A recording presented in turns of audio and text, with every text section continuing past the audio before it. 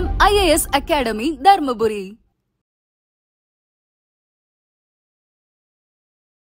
அடுத்ததாக நம்ம பார்க்க போகிற பகுதி என்ன அப்படின்னா இலக்கண பகுதி. நமக்கு என்ன தலைப்பு கொடுத்துருக்காங்க அப்படின்னா ஓரெழுத்து ஒரு மொழி பகுப்பதம் பகாப்பதம். ஸோ இதுதான் கொடுத்துருக்காங்க.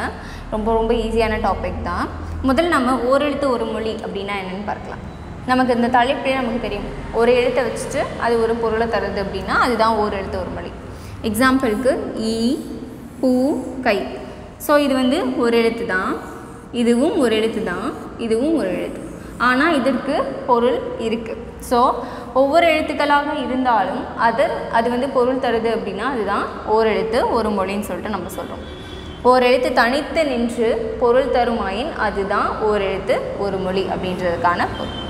ஸோ இப்போது இந்த ஓரெழுத்து ஒரு மொழி எத்தனை இருக்குது அப்படின்றத பார்க்கலாம். நன்னூல் அப்படின்ற இந்த இலக்கண நூலை எழுதினவர் தான் பவனந்தி முனிவர். நன்னூல் அப்படின்றது ஒரு இலக்கண நூல். இதனுடைய ஆசிரியர் யார் அப்படின்னா பவனந்தி முனிவர். இவர் சொல்லியிருக்காரு இந்த ஓரெழுத்து ஒரு மொழி மொத்தம் தமிழில் எத்தனை இருக்குது அப்படின்றத பற்றி இவர் பேசியிருக்கார். எத்தனை இருக்குது அப்படின்னா நாற்பத்தி ரெண்டு ஓரெழுத்து ஒரு மொழிகள் தமிழில் இடம்பெற்றிருக்கு அப்படின்னு சொல்லிட்டு சொல்லியிருக்கிறார். அந்த நாற்பத்தி எட்டு நாற்பத்தி ரெண்டு ஓரெழுத்து ஒரு மொழிகளில் எத்தனை குறில் எழுத்துக்கள் இருக்குது அப்படின்றத குறிப்பிட்ட சொல்லியிருப்பாங்க. நோ து. ஸோ இந்த இரண்டு எழுத்துக்கள் மட்டும்தான் குறிலாக அமையும். மற்ற நாற்பது எழுத்துக்களும் நெடிலாக அமையும். ஸோ ரெண்டு குறில் எழுத்து நாற்பது நெடில் எழுத்து. மொத்தம் நாற்பத்தி ரெண்டு ஓர் எழுத்து ஒரு மொழி தமிழில் அமைஞ்சிருக்கு அப்படின்னு சொல்லிட்டு யார் சொல்கிறாங்க பவனந்தி முனிவர் அவர்கள் சொல்கிறாங்க அதே போல் நன்னூல் அப்படின்ற இந்த இலக்கண நூலினுடைய ஆசிரியர் யாருன்னு கேட்டால் பவனந்தி முனிவர் அவர்கள். நமக்கு என்ன ஒரு கண்டென்ட் கிடைச்சாலும் அதை எப்படியெல்லாம் கேள்விகளாக கேட்கப்படலாம் அப்படின்றதையும் கவனமாக பார்த்துக்கணும். நமக்கு இங்கே இது மட்டும்தான் கேட்பாங்க. இலக்கணம் தானே? ஸோ இலக்கணம் மட்டும் தான் கேட்பாங்களான்னு பார்த்தா நமக்கு இங்கே நூல் கொடுத்துருக்காங்க. அதனுடைய ஆசிரியர் யாருன்றதையும் கொடுத்துருக்காங்க. ஸோ அதையும் நம்ம கவனமாக பார்த்துக்கிட்டா தான் மேபி இந்த ஒரு கேள்வி கேட்டால் நம்மளால் பவனந்தி முனிவர் அவர்கள் தான் நன்னூல் இயற்றினார் அப்படின்ட்டு சொல்லிட்டு சொல்ல முடியும். மொத்தம் தமிழில் ஓரெழுத்து ஒரு மொழி எத்தனை இருக்குது அப்படின்னா நாற்பத்தி ரெண்டு. அதில் ரெண்டு குறில் எழுத்துக்கள் நாற்பது நெடியில் எழுத்துக்கள் அமைஞ்சிருக்கு. அந்த நாற்பத்தி ரெண்டு எழுத்துக்களும் தான் ஓரெழுத்து ஒரு மொழி அப்படின்னுட்டு யார் சொல்கிறாங்க பவனந்தி முனிவர் அவர்கள் சொல்கிறாங்க முதல்ல ஓரெழுத்து ஒரு மொழினா என்னென்னா ஓர் எழுத்து தனித்து வந்து பொருள் தருது. தனித்து வர்றது பெருசு இல்லை அது பொருள் தரணும்.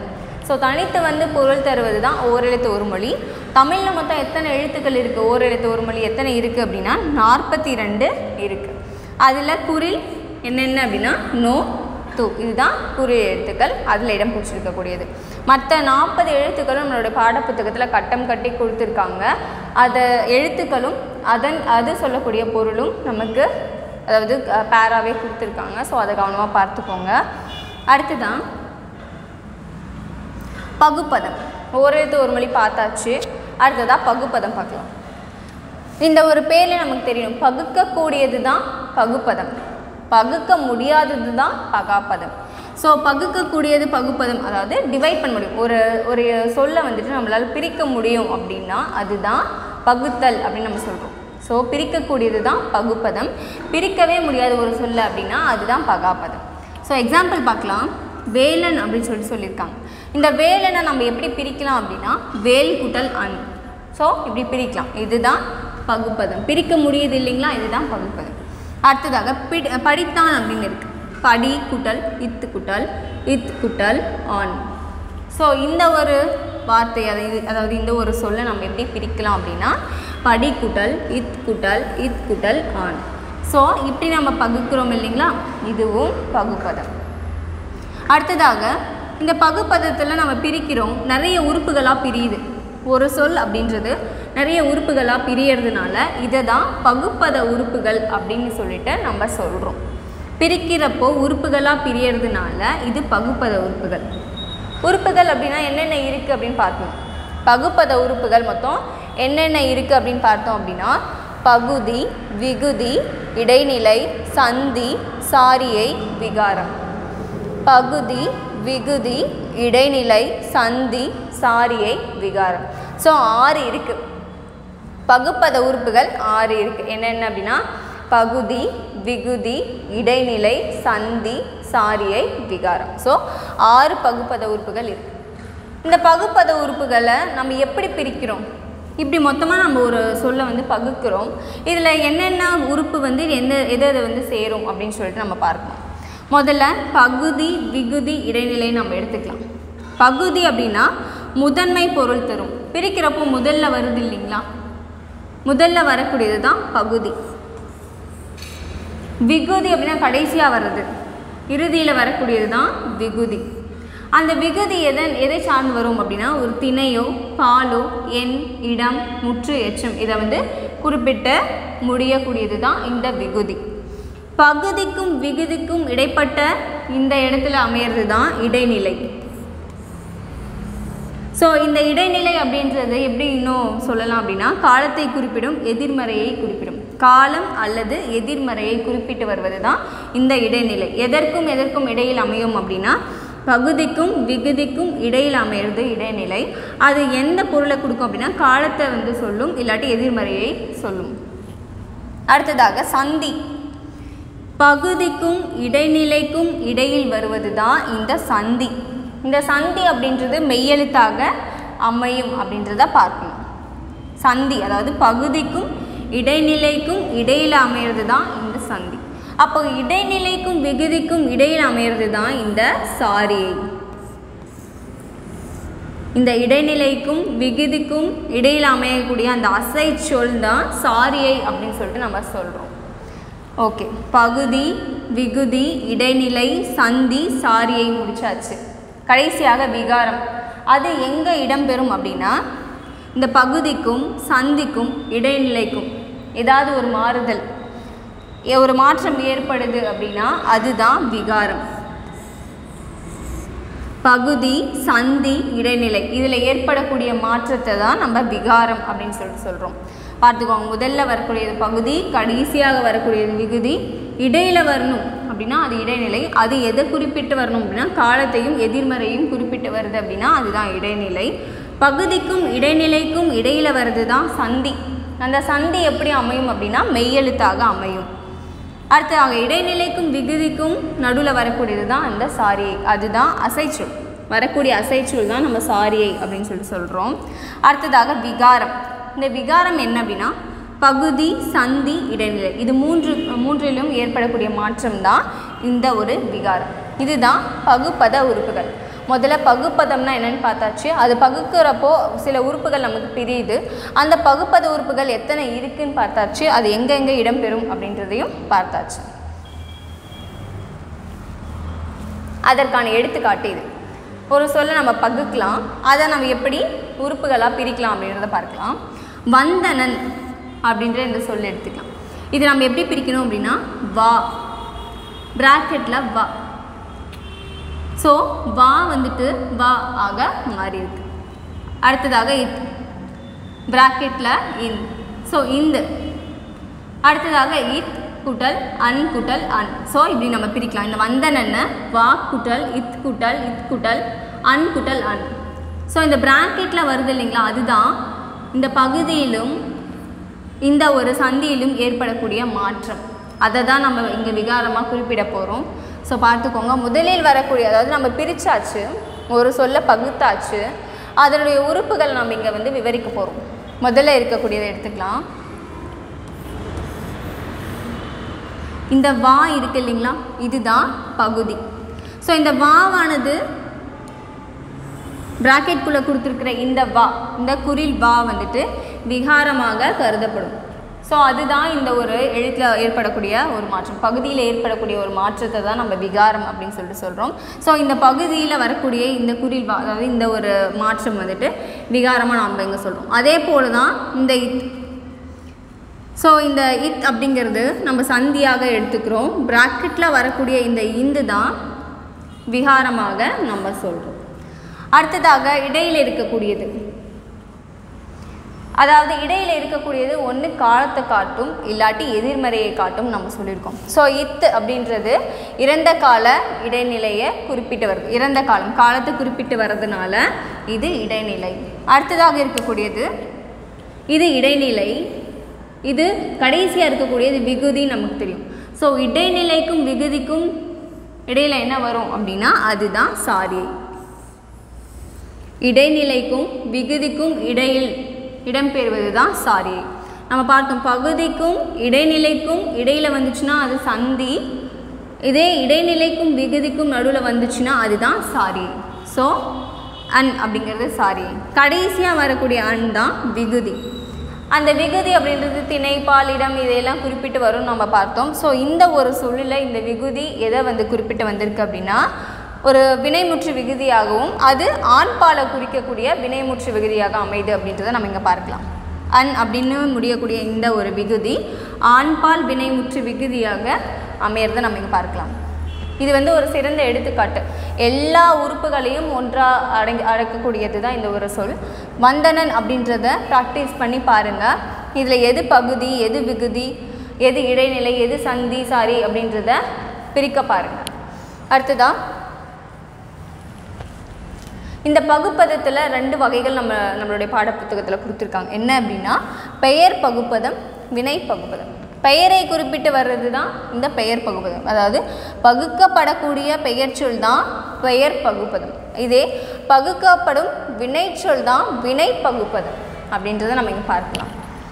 அடுத்ததாக இந்த முதல்ல இந்த பெயர் பகுப்பதம் பார்க்கலாம். பெயர் பகுப்பதத்தில் எத்தனை வகைகள் இருக்குது அப்படின்னா ஆறு வகைகள் இருக்குது என்னென்ன அப்படின்னா பொருள் இடம் காலம் சினை பண்பு தொழில் ஆகிய ஆறு வகைகளை உள்ளடக்கியது தான் இந்த ஒரு பெயர் பகுப்பதம் ஸோ பொருள் அப்படின்னா பொருளை சார்ந்து வரக்கூடியது தான் இந்த பொருள். இடம் அப்படின்னா இடத்தை குறிக்கும் காலம் அப்படின்னா ஒரு மாதத்தையோ நாளையோ ஸோ அதை குறிக்கக்கூடியது தான் இந்த காலம். சினை அப்படின்னா நம்மளுடைய உடலில் இருக்கக்கூடிய உறுப்புகள் பண்பு அப்படின்னா ஒருத்தர் வந்து நல்லவங்களா கெட்டவங்களா உயரமானவங்களா குள்ளமானவங்களா? ஸோ ஒருத்தருடைய பண்புகளை குறிக்கிறது தான் இந்த பண்பு. தொழில் அப்படின்றது தொழிலை பேஸ் பண்ணி செய்- அதாவது அவங்க யார் என்னவா இருக்காங்க அப்படின்றத பேஸ் பண்ணது தான் இந்த தொழில். ஸோ இந்த ஆறு வகைகளை எப்படி சொல்லி எக்ஸாம்பிள் சொல்லி நமக்கு பா எக்ஸாம்பிள் கொடுத்து நமக்கு கொடுத்துருக்காங்கன்னா பொன்னன். இந்த பொன்னனை நம்ம பிரிக்கலாம். அதாவது பகுக்கப்படும் பெயர் சொல். இதை நம்மளால் பகுக்க முடியும் டிவைட் பண்ண முடியும். இது வந்து பொருள் பெயர். அதாவது இது ஒரு பொருள் பெயர். இது நம்ம பிரிக்கிறோம் அப்படின்னா பொன் குட்டல் அன் அப்படின்னு பிரிக்கிறோம். ஸோ பகுக்கப்படும் பொருள். அதாவது அதுதான் நம்ம வந்துட்டு பொருள் பகுப்பது.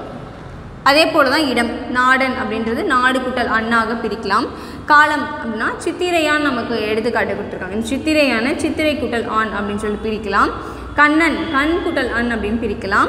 இனியன் இனிமை கூட்டல் அன் அப்படின்னு பிரிக்கலாம். உழவன் உழவு குட்டல் அன் அப்படின்னு சொல்லிட்டு நம்ம பிரிக்கலாம்.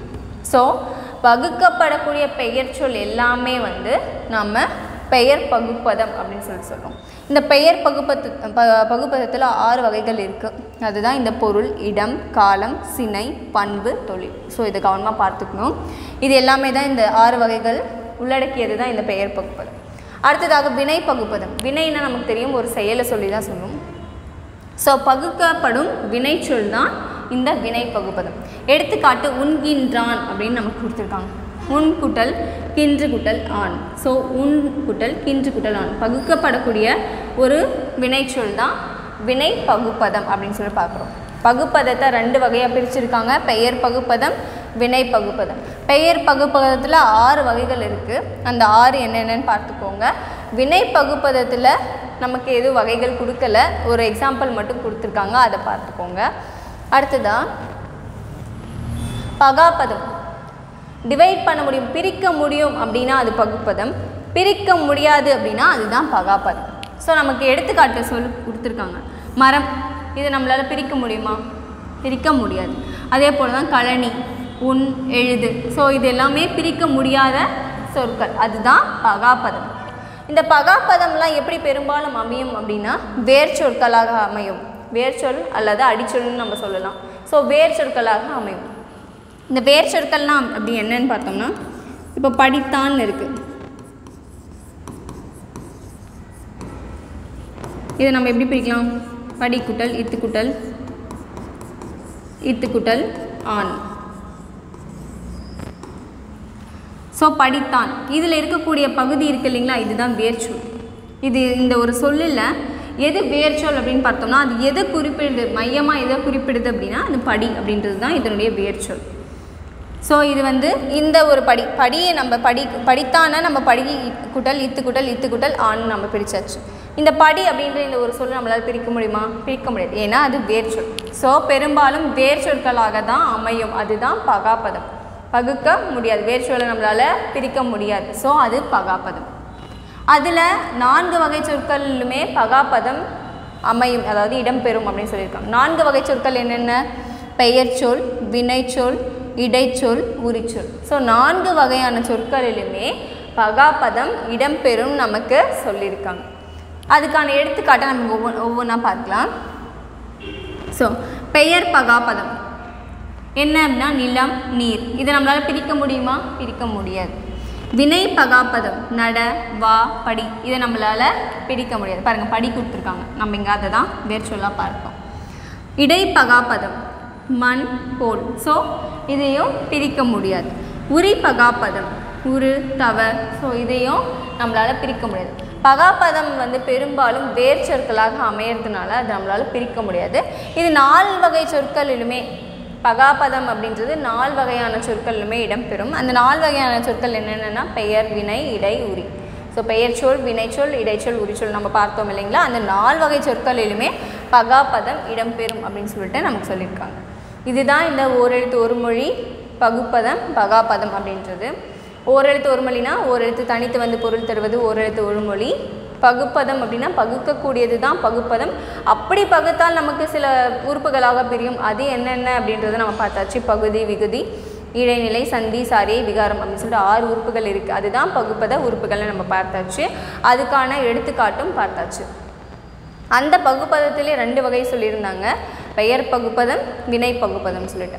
ஸோ பெயர் எப்படி அமையும்? வினை எப்படி அமையும்? அப்படின்றத பார்த்தாச்சு. வெ- பெயரில் ஆறு வகைகள் இருக்குது வினையில் அந்த மாதிரி வகைகள் எதுவுமே கிடையாது அப்படின்றத எடுத்துக்காட்டோட பார்த்தாச்சு. அடுத்ததாக பகாப்பதம் பகாப்பதம் அப்படின்னா பகுக்க முடியாதது தான் அதாவது டிவைட் பண்ண பிரிக்க முடியாது. ஒரு சொல்ல பிரிக்க முடியாது அப்படின்னா அதுதான் பகாப்பதம் அது ஏன் வந்து பகாப்பதம் அப்படின்னா அந்த பகாப்பதத்தில் எது வந்து பெரும்பாலும் அமையும் அப்படின்னா வேர் சொற்களோ இல்லை அடிச்சொற்கள் வேர் சொற்கள்னு சொல்லலாம் அடிச்சொற்கள்னு சொல்லலாம். ஸோ வேர் சொற்களை வந்து நம்மளால் பிரிக்க முடியாது. அதுதான் பகாப்பதம் அது எந்த அதாவது நால் வகை சொற்களிலுமே இடம்பெறும் அப்படின்னு சொல்லியிருக்காங்க.